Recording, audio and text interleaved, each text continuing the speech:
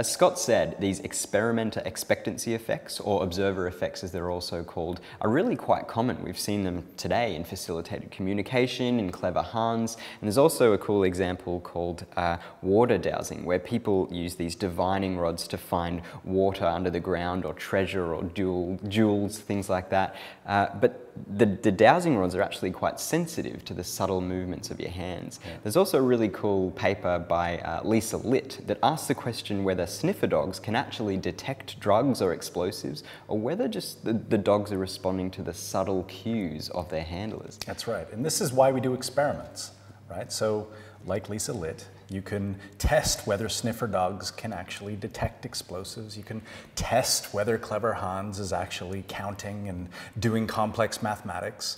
This is what we do every day, and this is why we design the experiments the way that we do, right? Um, take any area. I have colleagues in developmental psychology, and they're, they're interested in measuring infant responses. Obviously, infants can't speak, um, but they can look, and so you might show them a picture of a face, for example, and measure how long they look at this face uh, compared to this face on this side.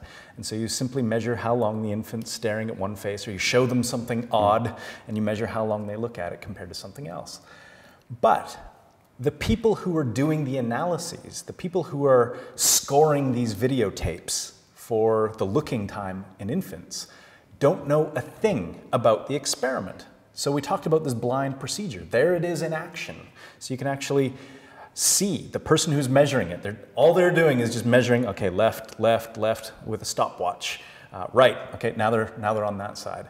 And so they, they can't possibly be swayed to go to one side or another because they don't know which hypothesis they're supporting, mm. right? I did a bunch of work in graduate school with Japanese quail. Now, I won't get into the specifics of why, but we were measuring how much time they spent on either side of the cage. So they, they spend on this side or this side, and I was there literally with a stopwatch measuring how long they were on one side versus another and writing down the times. And I didn't know which side of the cage they should have been spending their time on, essentially.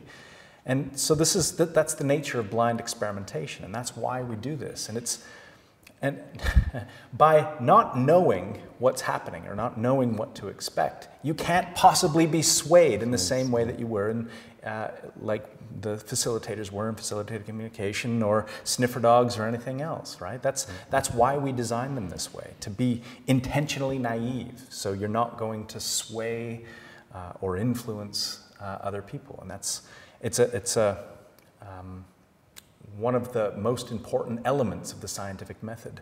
And that's why we do it. Yep. I hope these expectancy effects are really quite familiar to people because we saw them in episode two. When you're told specific information about what to listen for, for example. So if you're told to to hear it's fun to smoke marijuana when you listen to Queen backwards, you will hear it. Uh, if, the, if the information is ambiguous enough, you can bend it to, to suit your expectations and you interpret it. You actually, you see, hear and remember it in the way that, you're, that you expect based on that specific information. Now, expectancy effects play a really large and important role in forensic science.